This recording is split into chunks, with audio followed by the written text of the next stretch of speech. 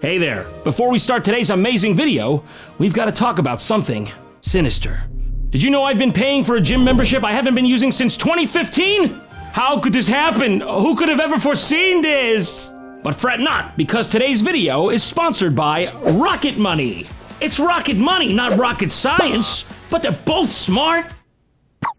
This little gem of an app is like your personal finance superhero. It's on a mission to zap away useless subscriptions, shrink those scary bills, and make your wallet breathe a sigh of relief. I've been using Rocket Money to kill those sneaky subscriptions you end up forgetting about. And when I say kill, I mean cancel them safely and securely. I didn't mean kill. I didn't mean kill.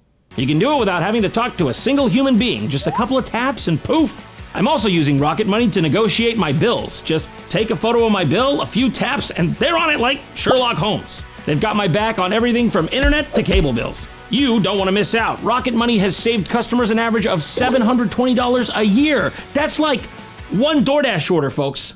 Over 5 million members are already using it, and now it's your turn. If you're ready to join the money saving party, go to rocketmoney.com slash Jontron or hit that link in the description. Start for free or go premium for the full VIP experience. Remember, it's rocketmoney.com slash Jontron to get started for free. And now, it's video time. Today, we're going to be looking at a strange little entry into the world's collective film collection called A Wrestling Christmas Miracle.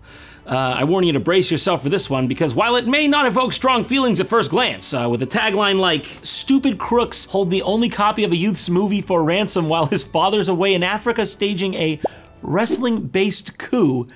Uh, we can't really ignore, can we? We can't, you know, how do you say, look the other way? So let's bust open this stocking stuffer and take stock of just how much coal we all got for this Christmas holiday. I give you a wrestling Christmas miracle.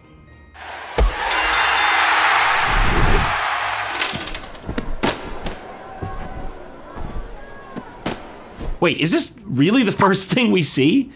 Did I start halfway through the film? So right off the bat, the movie starts off on a very strange foot, and the first like actual four minutes and 30 seconds of it comprise of just some kid wrestling for real at his school's competitions or something. You could tell it's genuine footage because all the faces in the background are blurred out. At this point, you can pretty much glean that it's probably the director or producer's son or something like that, uh, because if it isn't, that makes it even weirder, frankly. If there is a name synonymous with youth wrestling in the state of New Jersey, it's Case Gabriel, the son of Olympian Ajax Gabriel.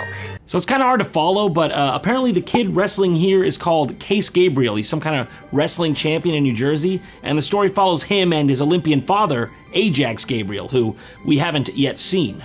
It's genetics. Ah, there he is. Found him. The kid is a machine, built to win. Now, if you don't mind, I'm gonna have to pause right here. What in the hell was that? Uh, who is this random dude all of a sudden, and why is he hassling my man over here like that? What's going on? That just comes out of nowhere. And even appeared in a protein shake commercial with his father. I, do I have to report this movie to the authorities?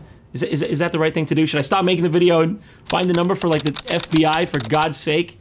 What is going on? I must remind you that by this point we haven't even gotten to the first real line of the movie, but somehow this guy's popped in twice already, once shirtless. That kid's reaction right there, that's the first semi-normal thing that's happened so far in this entire film. Emphasis on semi, meaning it's not all the way normal. I'm still in shock and pain. Who is this person? I gotta know. Hold on. Let me just check IMDb. Wait a minute. Ken Del Vecchio. Mario Del Vecchio. Eureka! I found it! Yeah, the plot thickens. Uh, apparently, they are not only father and son in the movie, but in real life as well. And surprise, surprise, Kenneth Del Vecchio also just happens to be the writer and producer of the film. I'm shocked. So, so like, what is this thing? Is he making this movie for his son to launch his acting career or something? Let's see what he's written for us then, you know? Let's give it a chance. Show us what you got, Mario and Kenneth. I'm done with wrestling. Well, what a miracle. Merry Christmas, everyone. Done with wrestling. Why is that, Case? Because in 40 days and 40 nights, it's Christmas. So? I hate to say it, but she's got a solid point, son. Your rebuttal better be bulletproof. My friend has been in a coma for three months, and if I make a movie that will make him laugh, he'll come out of his coma. That is not what I expected you to say. hey, fair play. Science has never proved that can't work, but uh, that could just be because they don't waste their time, you know, testing that. Keep in mind, please, this is actually the first line of the film. After five minutes of all that bullshit, that's what we get.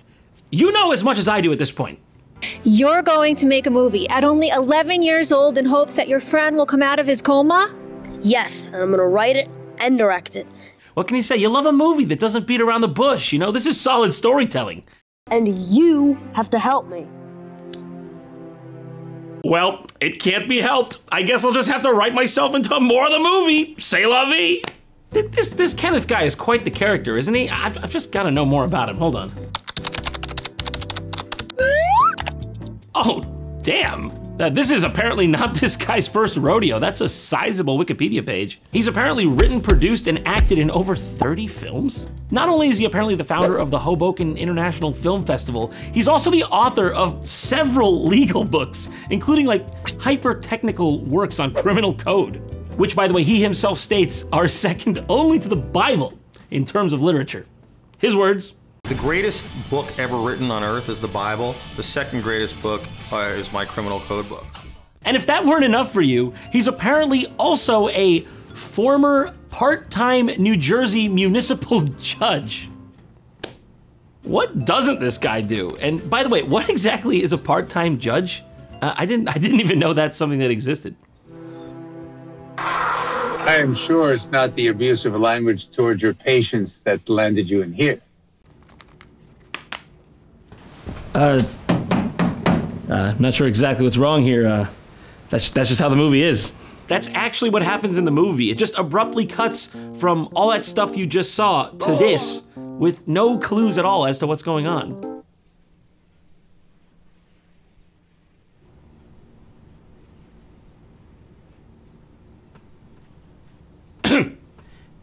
Anybody gonna say anything? That's that's not American Sign Language. You had something to say? You are a complete mental midget. You do not have Dr. Reno in front of you. No, you don't. How would you like it if you stepped into Newark Municipal Court? You know, you're fighting a charge you know you didn't commit the crime. It's 25 to life. It's serious. You look up on the podium and this this is this is staring back at you.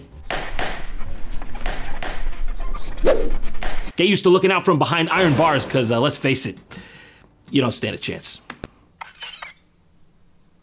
Idiot. There you are. Where have you been? Look, at least Gilbert Gottfried's in this movie. What do you mean Gilbert Gottfried's in this movie? Oh God, no. Uh, Was this his last movie? This came out in 2020. It's cutting it close. Uh, Almost. Okay, not technically. Uh, we can still sleep tonight. Yeah, so the legendary Gilbert Gottfried is in this movie for some reason, and so are other well-known actors like Michael Winslow from Police Academy, and that back there was Martin Kove from Karate Kid and Cobra Kai. Did these people even know what they were involved with here? Did they just tell them it was a Make-A-Wish thing and that's why they got the kid over there in the coma? How did they get these actors? Is it really that easy? What, what was the budget for this thing? Two million dollars? What? How? You don't just get two million dollars out of nowhere. And look, a lot of his movies have budgets like that. What? I'm just saying, a lot of genuinely classic films didn't even have a budget that high. Surely these movies like don't make their money back through the box office. Huh?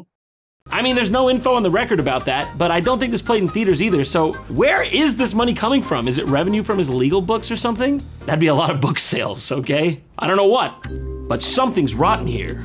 Oh, yeah, the stink on this wrestling mat goes down below the carpet to the layer that looks like pizza. Or at least when I was a kid, I thought it looked like pizza. Don't make fun of me. What do you think, Yoda? Hmm, Money laundering possible, but to the slander laws definitively say I will not. I hate this thing. And if you bought the, if you bought this for your lawn for Christmas, you saw that in the store, you picked that up, you took it home. What is wrong with you? Get help. Day one of your sentence is officially over. What do you think?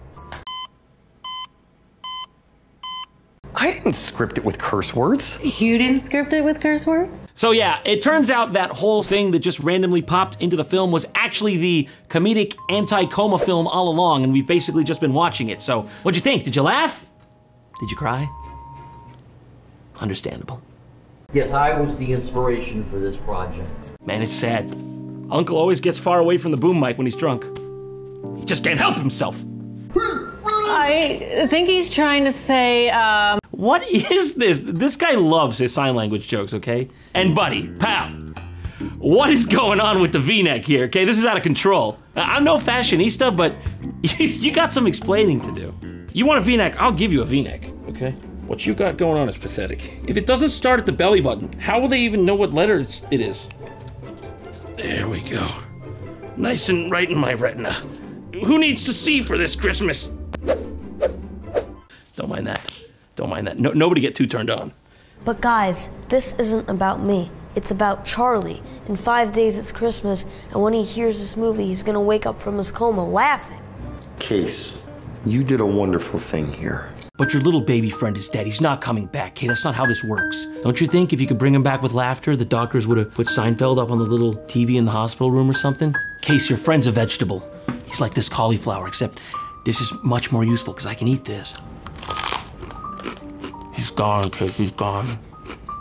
You need to start wrestling again, pal. I'll start wrestling again after Christmas when Charlie wakes up. Yeah, come here. you know what Abraham Lincoln said, don't you? He said, wrestle right now or I won't finish the Civil War. Four score and seven broken ribs. I'm going for the Gettysburg grab.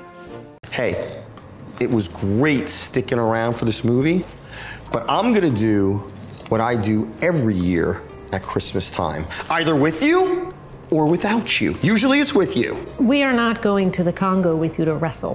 What a selfish.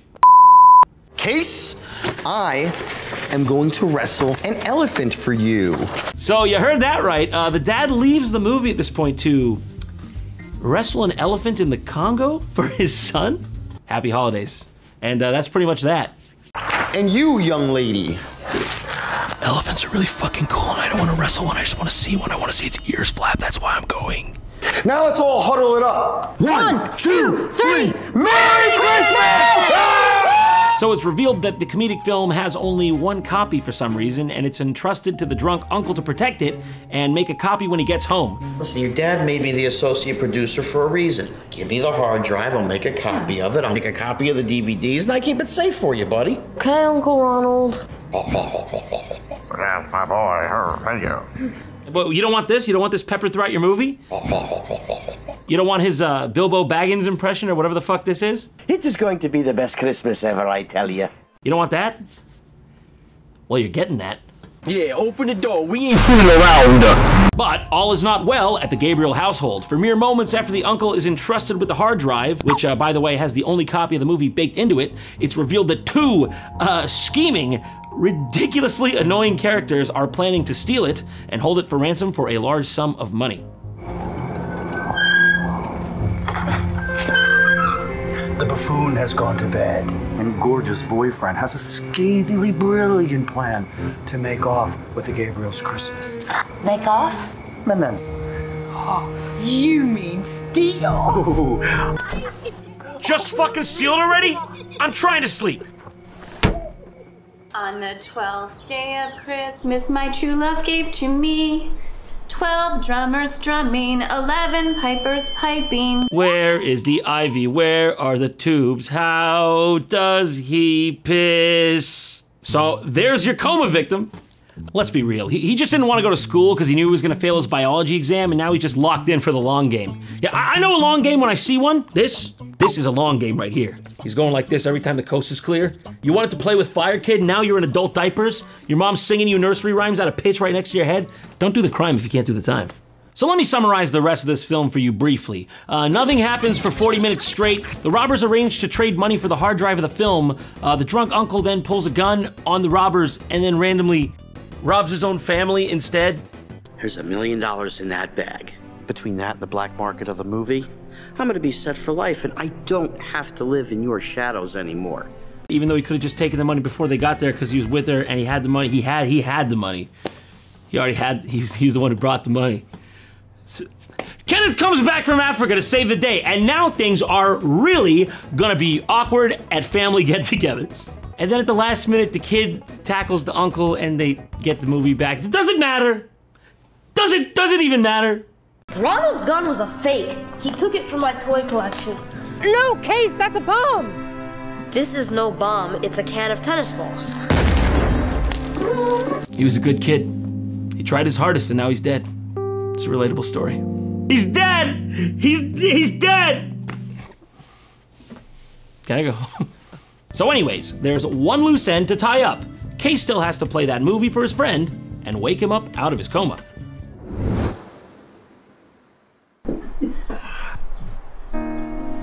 Case. He just needs a little more time. Yeah, it didn't work. He's dead. He's gone. He's yeah, he's locked in there forever. That was the last option. Shit. At this point, things start to wrap up, and Case says his final tearful goodbyes to his friend. Wanna know my family's secret wrestling move? It's called the Gabriel Spladle with a soup ladle. Now don't show anyone, Smooth Charlie. This is how you do it. After you've peeled back the guy's forearm, Uh, Case, what are, you- what are you doing? you lock his head. Oh, don't bend his head like that. You're gonna put him in another coma. Case, that's a bomb! Now this will either put the guy to sleep or wake him up. Case, could you get off? Charlie, you woke up! Thank you for getting off me. That's some crazy story. It hurts. It just hurts so bad. You know, some days it just hurts. Oh my dear God. It's a miracle! It's a true Christmas miracle!